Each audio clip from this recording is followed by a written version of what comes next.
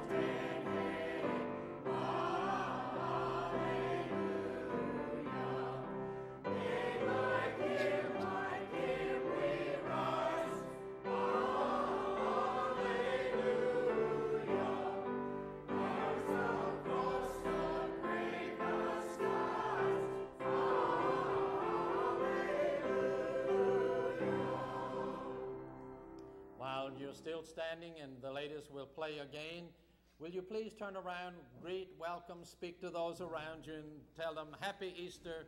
We're so glad to see you this morning.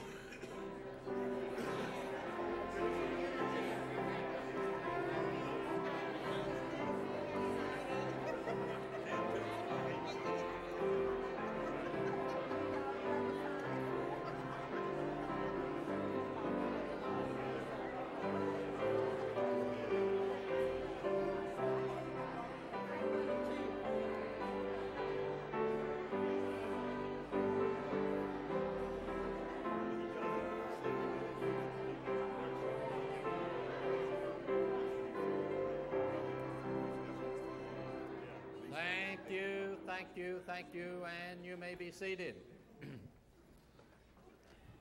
My privilege, as always, to welcome you and to thank you for being here on this beautiful, beautiful Easter morning. Some, including our choir and some of our other folks, have been here since earlier to uh, lead us in worship, and we're glad you're here for this service this morning. For those who are visiting, we extend to you a very special word of welcome and greeting and trust that you will sense the presence of God in this place and the friendship that is here to welcome and to greet you. You'll notice that there are the little visitors' cards in the pew racks, and if you provide the requested information, we'll be glad to add you to a mailing list that tells you everything that's going on and when the next thing is going to happen, whenever that's going to be. Thank you, thank you, thank you for being here. You'll notice the midweek opportunities that are there before us that apply to some. And then we take the opportunity, as always, to rejoice with those who have reason to rejoice by recognizing birthdays over here. Yes. Tracy Douglas, had or has? Will have. It'll be the big one. Is it the Social Security one or another one? All right, over here. Yes, uh, Helen Hodges. Did you have your hand up, Helen? No, no, I don't. Have. You have a birthday, Helen. When, do you, when is it? 11. Do you reveal secrets? 85 years young. Wonderful, wonderful, wonderful. Brother Terry.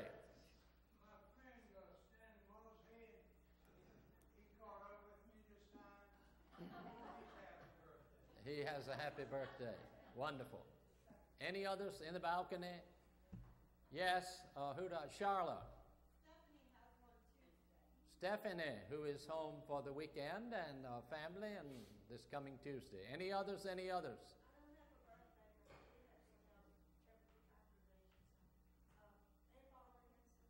Yes.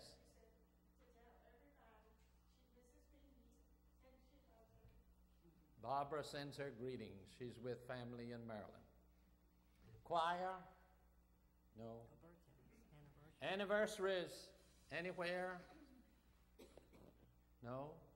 No anniversaries? All right, sister. Happy birthday to you. Happy birthday to you. May God bless and keep you ever faithful and true. Webster, you got the whole family there this morning? Wonderful. Where's the Brock? You got the little one there? Yes, sir. oh, I see her now. Okay, all right, that's good.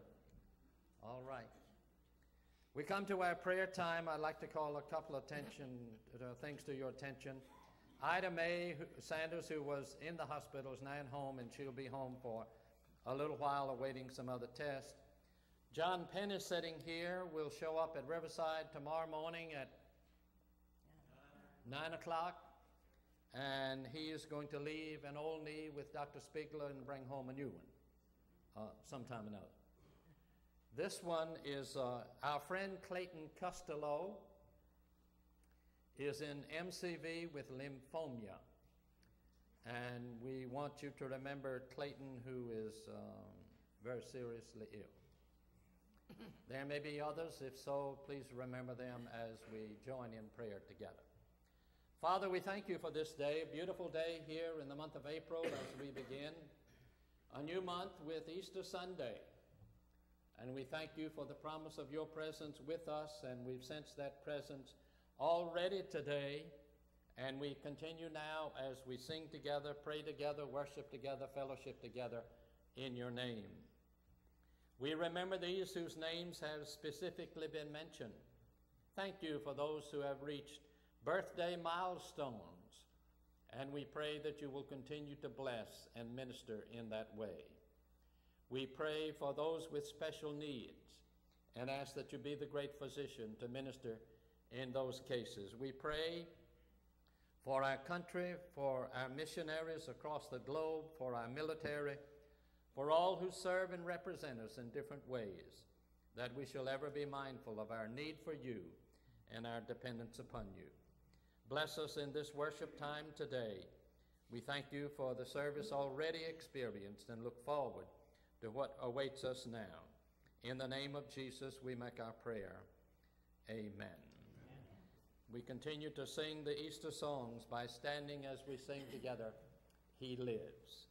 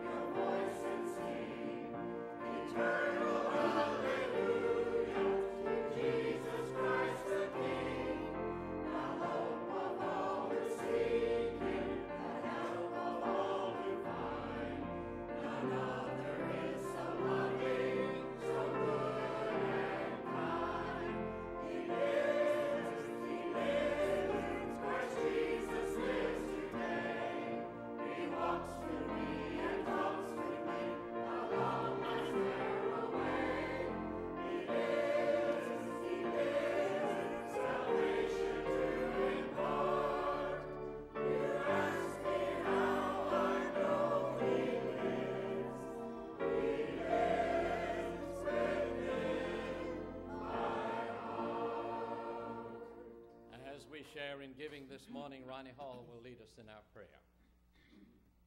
Heavenly Father, we are so thankful for this glorious day that you have provided for us, not only for the blue skies and the warmth of the sunshine, but Father, we thank you for your Son who came and overcame death. Father, we celebrate that empty tomb today, and we lift you up and thank you and praise you and love you for all that you have done for us undeservingly. Father, we pray now as we enter into this part of the service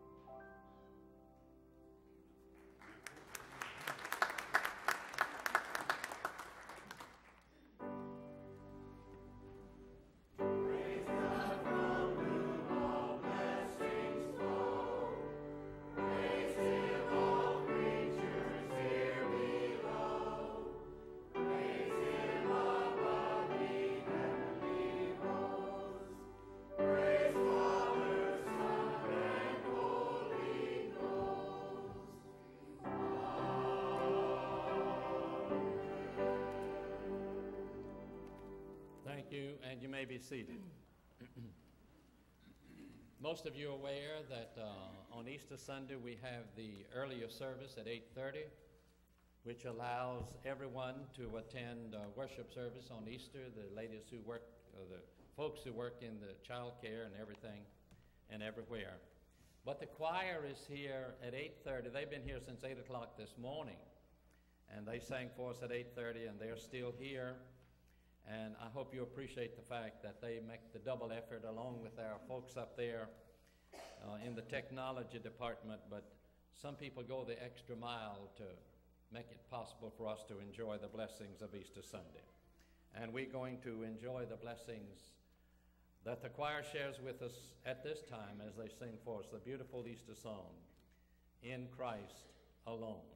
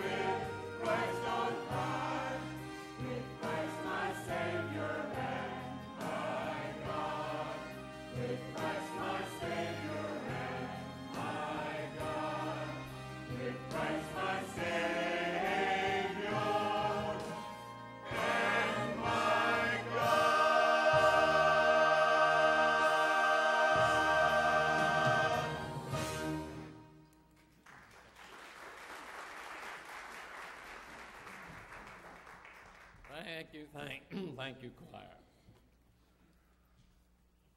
As far as scripture reading on Easter Sunday, there are many possibilities and alternatives. I'm going to read some selected verses from the 11th chapter of John, which is the chapter containing the raising of Lazarus from the dead. John chapter 11. Now, a certain man was sick, Lazarus of Bethany, the town of Mary and her sister Martha. It was that Mary who anointed the Lord with fragrant oil and wiped his feet with her hair, whose brother Lazarus was sick. Therefore the sister said to him, sent to him, saying, Lord, behold, he whom you love is sick. When Jesus heard that, he said, This sickness is not unto death, but for the glory of God, that the Son of Man may be glorified through it. Now Jesus loved Martha and her sister and Lazarus. So when he heard that he was sick, he stayed two more days in the place where he was. Then after this, he said to the disciples, Let us go to Judea again. So when Jesus came, he found that he'd already been in the tomb four days. Now Bethany was near Jerusalem, about two miles away, and many of the Jews had joined the women around Martha and Mary to comfort them concerning their brother. Now Martha, as soon as she heard that Jesus was coming, went and met him. But Mary was sitting in the house. Now Martha said to Jesus, Lord, if you had been here, my brother would not have died. But even now I know that whatever you ask of God, God will give it to you. Jesus said to her, Your brother will rise again. Martha said to him, I know that he will rise again in the resurrection at the last day. Jesus said to her, I am the resurrection and the life. He who believes in me, though he may die, he shall live. And whoever lives and believes in me shall never die. Do you believe this? She said to him, Yes, Lord, I believe that you are the Christ, the Son of God, who is to come into the world. These verses from John 11. I don't know if it's just me or not, but it seems to me that we live in a day and a time when people, as never before, are interested in death and what is usually called the after death experiences. In fact, some of you have read the books about those who said they died and went to heaven and saw this and heard this and uh, corresponded in this way or whatever.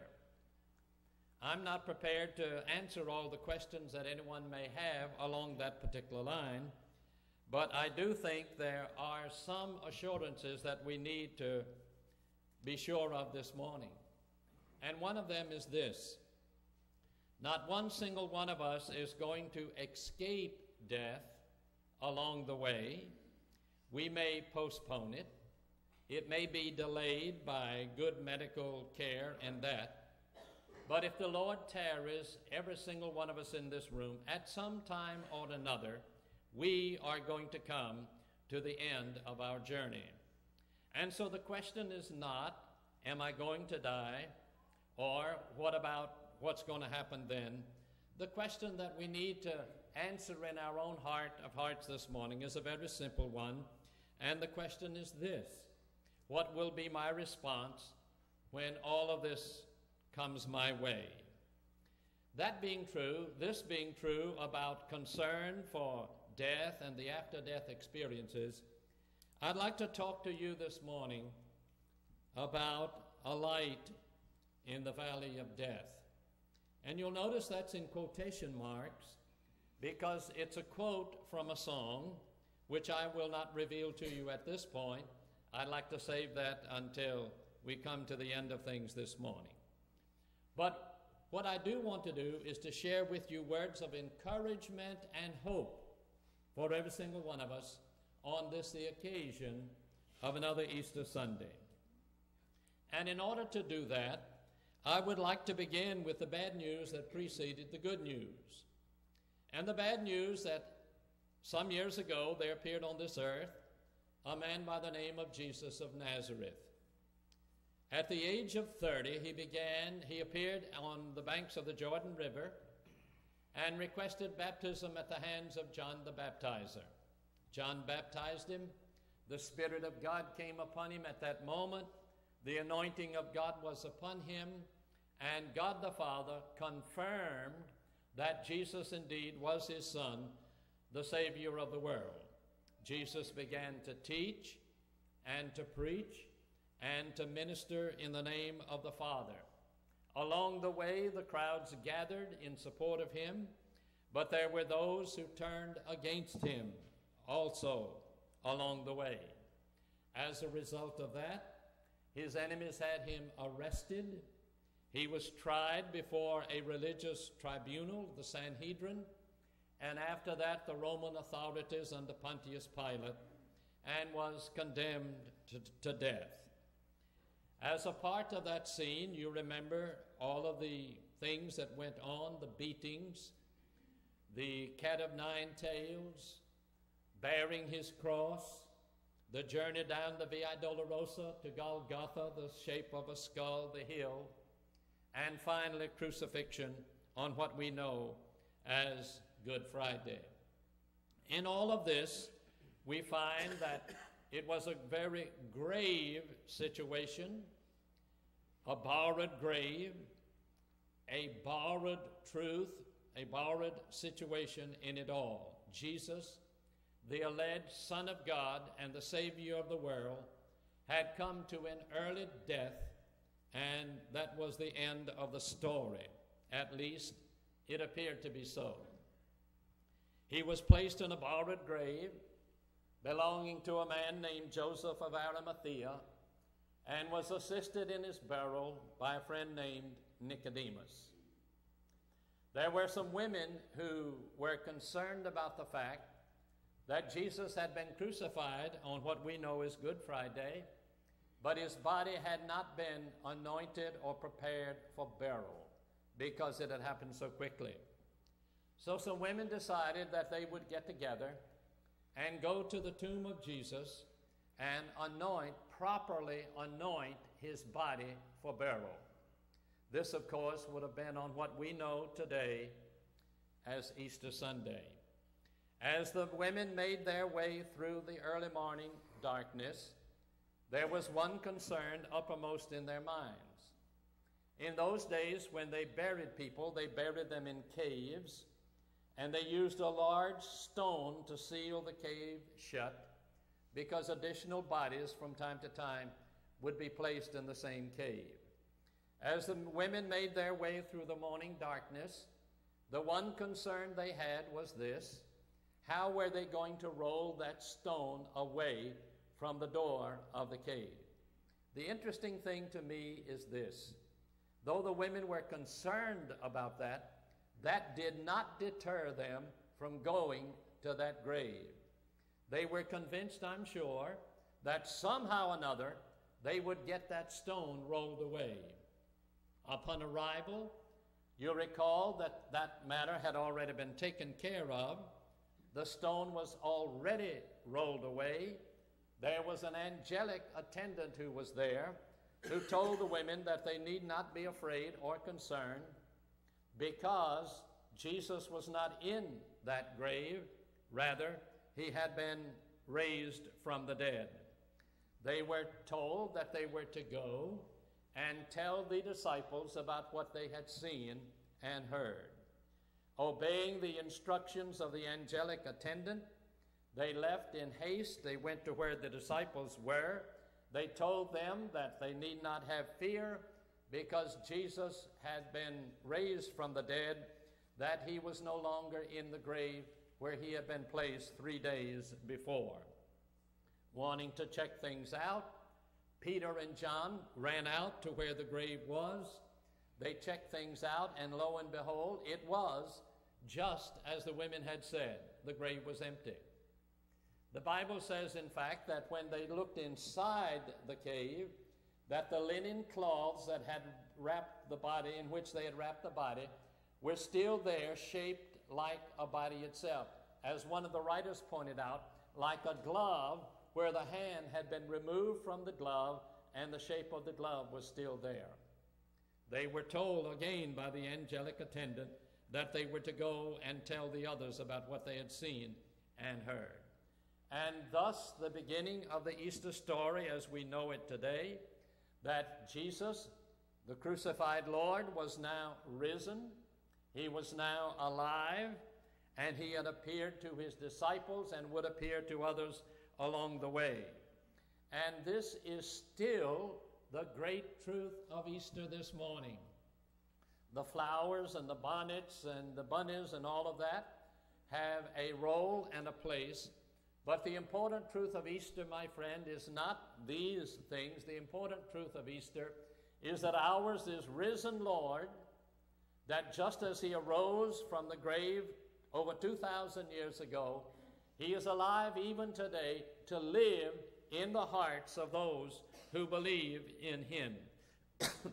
the Apostle Peter addressed this some 50 days later in his famous sermon on the day of Pentecost when he reminded his hearers that Jesus indeed was alive, just as he had promised, just as he had said, and that he was very much alive and present in the world today, in, at that time. My friend, that was good news then, and it's good news still that ours is risen Lord.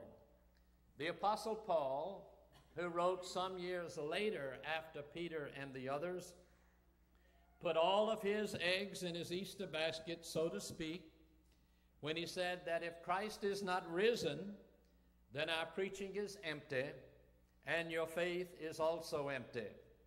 But then he drove things home in verse 20 when he said, But now is Christ risen from the dead and has become the first fruits of those who have fallen asleep. Summing things up in verse 57 in the 15th chapter of 1 Corinthians, Paul wrote these words But thanks be to God who gives us the victory through our Lord Jesus Christ.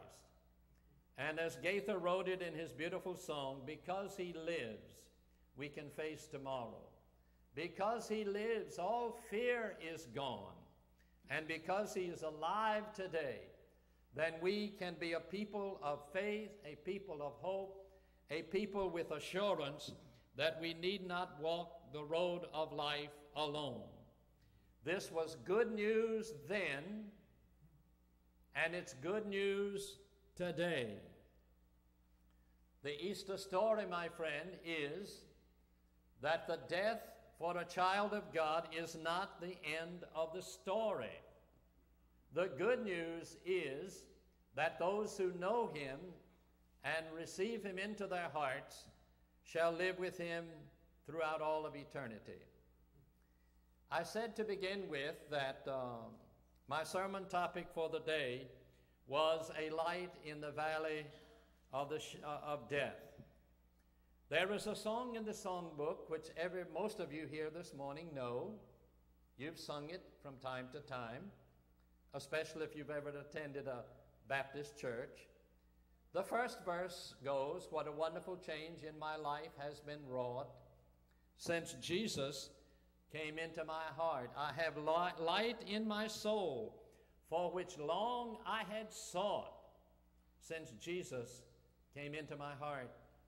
But in preparing today's sermon, I came across verse 3, which had been there ever since the song had been written. But I had simply, it had simply slipped my mind.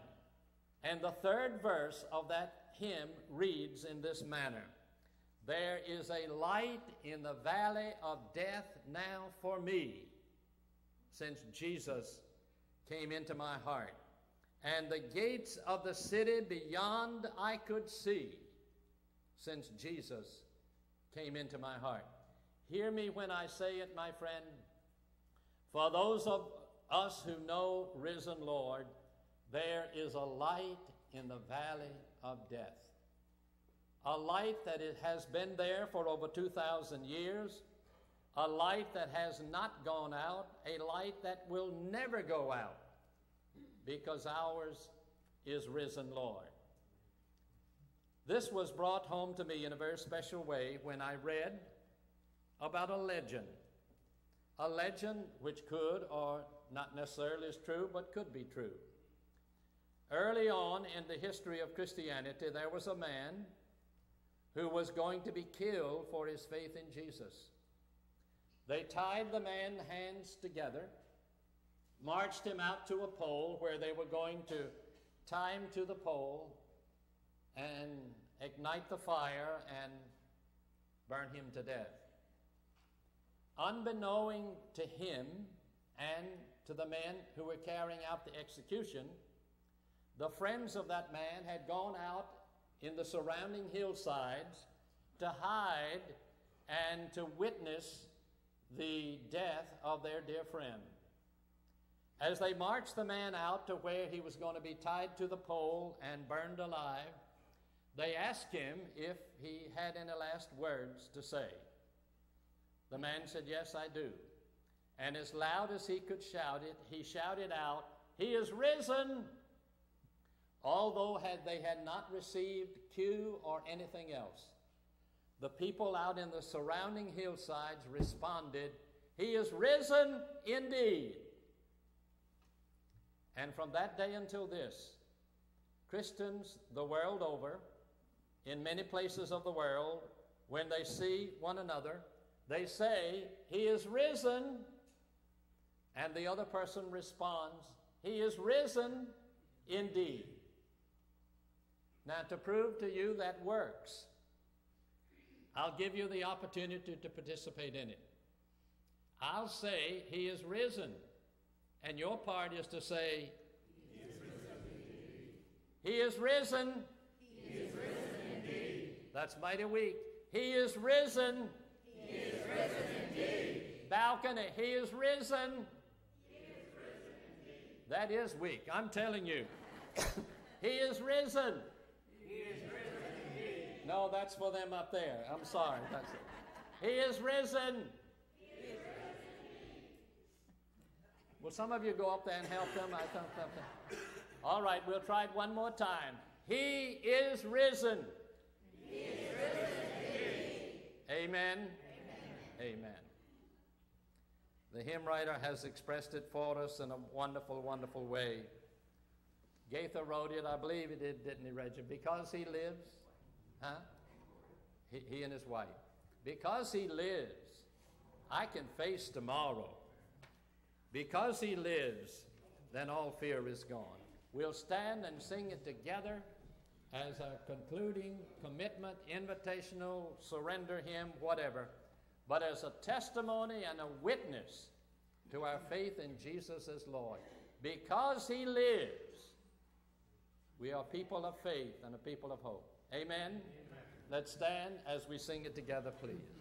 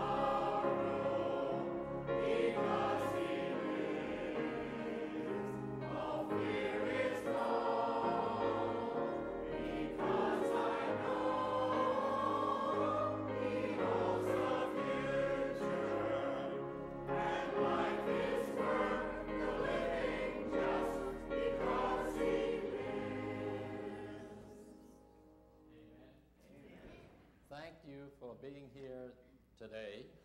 And some of you have been here a long time. But thank you for being a part of this service this morning. I would remind you of two things. First, we'll be back next Sunday, same time, same station. Uh, we invite you to join us then. If you gave one of the Easter flowers, then the ladies would like for you to take that today, uh, if you would be so kind as to do so. And now we will close our service a little differently. So get ready. What is her name, Brock? Quinn. Quinn. Huh? Penelope Quinn. Will you ask her to participate in this, please? All right. I'll say that he is risen, and what are you going to say? He is risen indeed. All right. Get ready now. He is risen. He is risen indeed. Balcony. He is risen. He is risen indeed. They getting better. All right. Choir. He is risen. He is risen indeed. Hey, they getting good. All together. Everybody in here. he is risen. He is risen indeed. Amen. Amen. Happy Easter.